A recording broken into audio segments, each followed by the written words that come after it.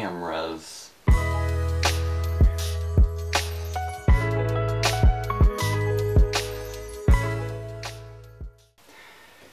A lot of you don't know, but I have a lot of different interests, including cubing, I did baseball for a while, I do 3D printing,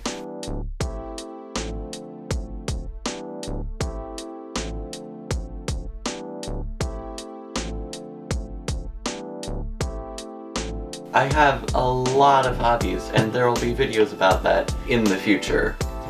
As I just mentioned, I do 3D printing. I have a ton of 3D printed little trinkets. This one's a tesseract. It's the shadow of a 4D cube.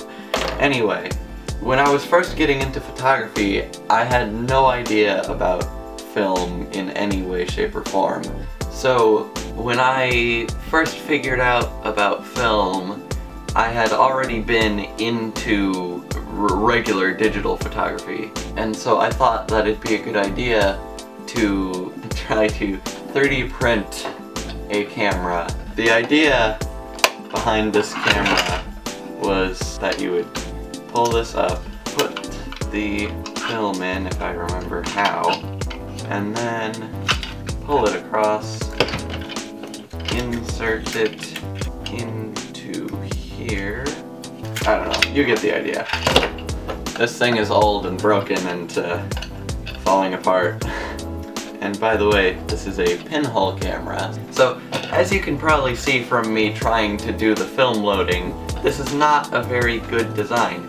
So I had made a version 2. Um, and to this day, I'm still quite happy with the design of this. I think it turned out very well. So the idea behind the film loading of this one is that you would put the film onto this spool and then pull it across, put it into the slot, start winding it a little bit, and then once you have this little assembly here, you put it into the camera body. So now you string this rubber band and that finishes your shutter. It is ready to take photos. As you can see when I turn this crank the other one also turns so it is properly loaded. You have this little shutter. I wasn't really too confident with this design um, and I haven't tested this design yet. I did get photos off of this. Here are those.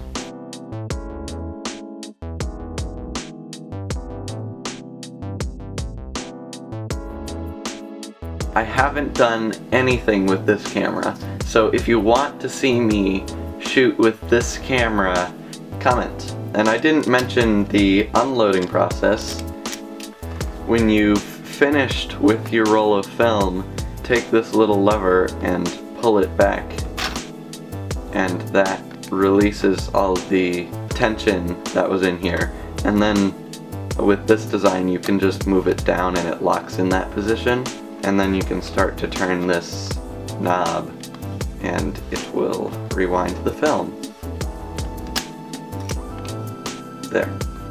And then when you're done you just pop that back up and it goes back to a ratchet. Take off the rubber band and pull it out and you have your finished cartridge.